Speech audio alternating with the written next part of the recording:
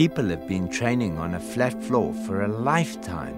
In Trinity is the first time we can train elevated. Being elevated gives us this opportunity to go under the floor, to use negative space. In Trinity redefines the training environment, allowing access to movements never possible until now. The timing and tempo of In Trinity is slower, it's more mindful movement.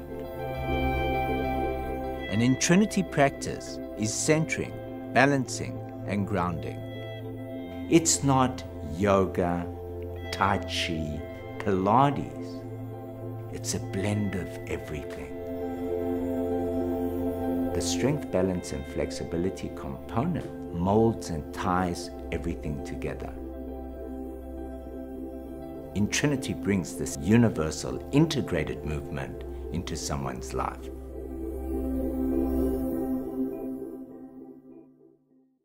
It's going to change the way people think about fitness.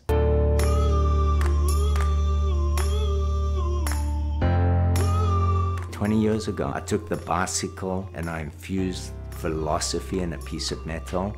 This wasn't mainstream. This was something that was extreme. The time is right. People are here. They weren't here before. They were evolving. This is an opportunity to take the mind-body experience to a new level. The values of our team is to encourage and develop the lives of other human beings.